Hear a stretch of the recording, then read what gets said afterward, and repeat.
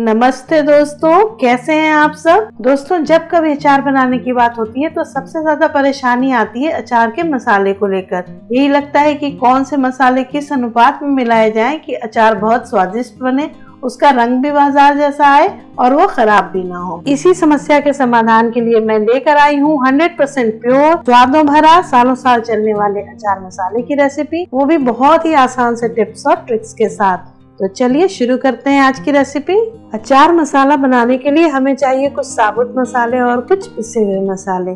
सबसे पहले मैंने लिया है मोटी सौंफ 50 ग्राम। अचार में मोटी सौंफ इस्तेमाल करते हैं। फिर जीरा 50 ग्राम, मेथी 50 ग्राम, राई 50 ग्राम, इसे बनारसी राई भी बोलते हैं। फिर मैंने लिया है 10 ग्राम कलौजी, इसे मंगरेल भी बोलते हैं। इसके अलावा कुछ पिसे हुए मसाले लिए हैं। ये मोटी कुटी हुई लाल मिर्च है 25 ग्राम। काश्मीरी मिर्च पाउडर 25 ग्राम। हल्दी पाउडर 25 ग्राम। हींग मैंने लिया है दो टीस्पून या 10 ग्राम के करीब। दोस्तों, धनिया से अचार का रंग थोड़ा सा काला हो जाता है, इसलिए मैं धनिया नहीं इस्तेमाल कर रही हूँ। अगर आपको पसंद है तो आप 25 ग्राम साबुत धनिया भी ले सकते हैं। तो अब हम इन साबुत मसालों को हल्का सा रोस्ट करेंगे। इसके लिए मैंने गैस जलाकर तवा गर्म होने के लिए रख दिया है और अब हम इस पे डाल रहे हैं सौंफ, जीरा और मेथी। दोस्तों, इसे हल्के हाथों से चलाते हुए हमें एक से दो मिनट तक भूनना है। यहाँ पे ध्यान देने की बात यह है कि मसाले को हमें सौंधा सौंधा होने तक नहीं भूनना है, बल्कि हल्का सा सेकना है जिससे इसकी नमी निकल जाए।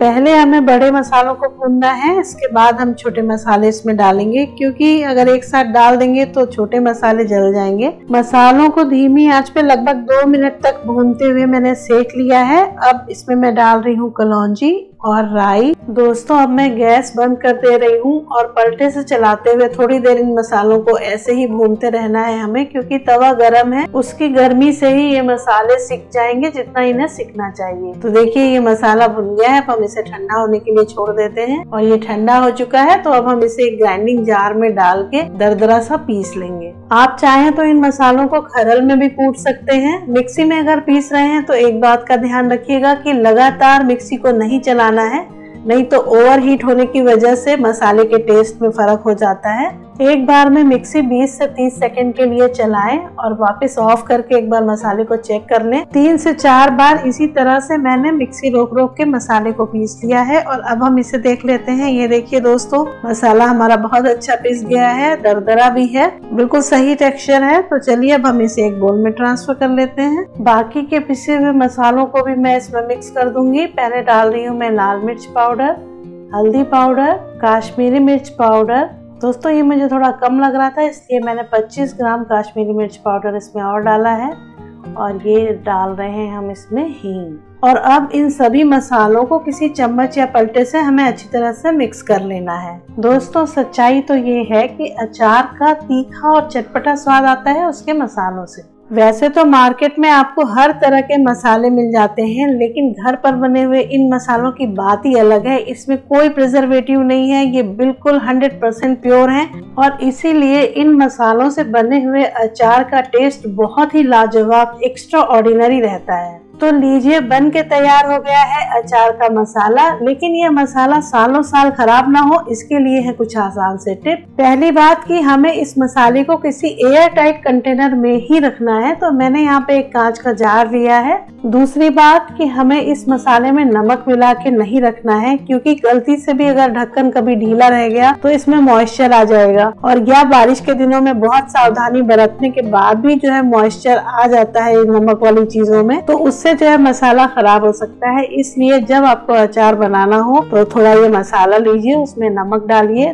तेल डालिए और अचार बन के तैयार हो जाएगा। दोस्तों, देखा आपने कितना सुंदर कलर आया है मसाले का और खुशबू बहुत अच्छी आ रही है यहाँ पे। एक बार आप ये मसाला तैयार करके रख लीजिए, उसके बाद आप इसी मसाले से बना सकते हैं बहुत तरीके के अचार और बहुत तरीके की अचारी सब्ज़ियाँ। जैसे भरवा भिंडी, भरवा बैगन, भरवा करेला या आम, कटहल, मिर्ची, नींबू, करेला, करौंदा, किसी भी चीज़ का अचार बनाइए। बहुत ही स्वादिष्ट बनेगा।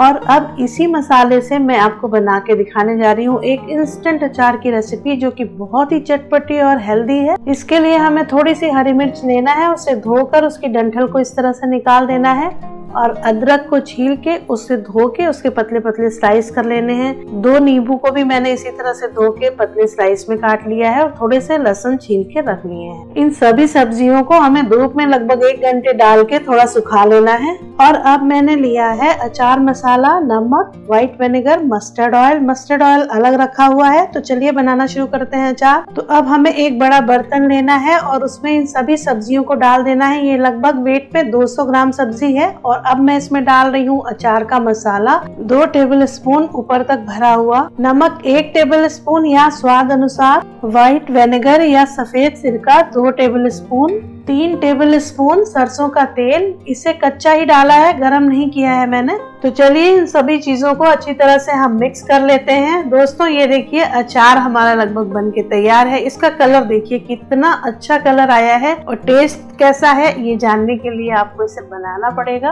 और अब इस अचार को किसी कांच की शीशी में या किसी बर्नी में रखना है और उसके बाद उसके ऊपर सूती कपड़ा बाँध के दो से तीन दिन हमें धूप दिखानी है। तो दोस्तों, तीन दिन के बाद ये अचार खाने के लिए एकदम तैयार हो जाएगा। दोस्तों, मुझे पूरी उम्मीद है कि आपको ये रेसिपी बहुत पसंद आई होगी। एक बार इस रेसिपी को फॉलो करके इसी रेशियो में आप ये मसाला तैयार करिए और फिर बनाइए उससे अचार और अचारी सब्ज़ियाँ, आप खुद देखेंगे कि इसका टेस्ट कितना अच्छा है। तो रेसिपी पसंद आई हो तो चैनल को बिना सब्सक्राइब किए हुए मत जाइएगा और बेल आइकन भी टच करिए, जिससे मेरे आने वाले वीडियो की नोटिफिकेशन सबसे पहले आपको मिले। तो दोस्तों वीडियो को लाइक करिएगा और अपने फ्रेंड्स और फैमिली के साथ शेयर करिएगा। Thank you